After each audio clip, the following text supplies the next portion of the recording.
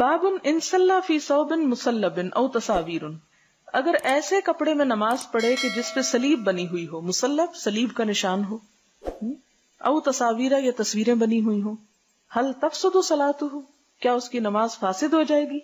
वमा युनहा अनजाले का और जो कुछ इससे रोका गया उसका बयान। ये बहुत से लोग सवाल करते हैं कि जी अगर कोई ऐसा कपड़ा है, अगर कपड़े पे तस्वीरें बनी हुई बाजू करते ना छोटे छोटे ऐसे भालू से या बियर बने हुए होते तो क्या उस कपड़े में नमाज़ हो जाती है, या नमाज़ ही नहीं होती? या कमरे में अगर पर्दे पे ऐसी कोई चीज़ें हैं, या वैसे कुछ लटका हुआ है तो क्या हुक्म है? हदसना अबू मामर अब्दुल्ला इब्न अमरिन, काला हदसना अब्दुल वारिस, काला हदसना अब्दुल अज़ीज़ इब्न सुहैब, अन अनसिन काला, हज़रत अनस कहते हैं, काना किरामन, था एक पर्दा। पर्दा किराम जो होता है ना, ये बारीक ऊन का पर्दा होता है, जैसे नट किस्म का। आयशा था, हज़रत आयशा के लिए सतरत भी जाने व बैतेहा, जिससे उन्होंने अपने घर के एक कोने को या एक हिस्से को ढांका था, यानी एक तरफ़ डाला था।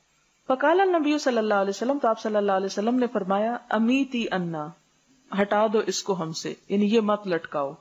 किराम की हादा, अपना ये पर्दा, अपना ये पर्दा हमसे हटा दो, यानी इसको नहीं लगाओ। फ़िन्नहु ला तजालु तसावीरहु तारिदु फ़ी सलाती।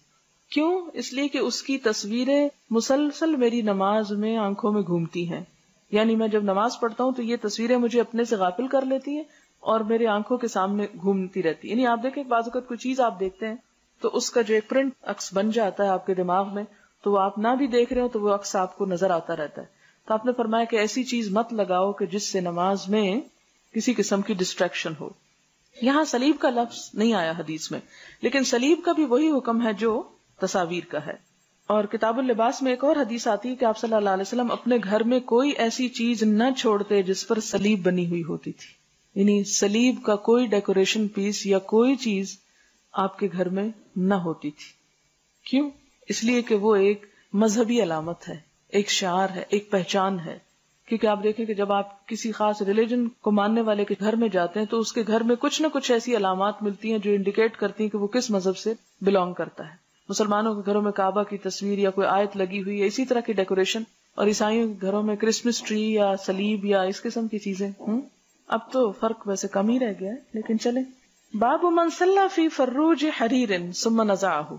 अगर कोई फर्रूज कहते हैं कोट को, कोई अगर रेशमी कोट में नमाज़ पढ़े और फिर उसको उतार दे, रेशम का कोट या रेशम का चुगा हदसना अब्दुल्ला इब्न यूसुफ काला हदसना लईस अन यजीद अन बिल खैर अन उक़बत इब्न आमिर काला उहदी अला नबी सल्लल्लाहु अलैहि वसल्लम फर्रूज हरीर आप सल्लल्लाहु अलैहि वसल्लम को रेशम का कोट दिया गया हदिये के तौर पर यानी आपको कहीं से बतौर गिफ्ट मिला फलबिसहु तो आपने उसको पहना फसल्ला फ़ी उसमें नमाज़ पढ़ी सुमन सरफा फिर सलाम फेरा फनजाऊ नजअन शदीदन तो खींच के उसे उतार दिया कल कार जैसे सख्त नापसंद करने वाले लहू उसको वकाल बगी हादा लिल मुत्तकीन ऐसा लिबास मुत्तकीन के लिए जेबा नहीं।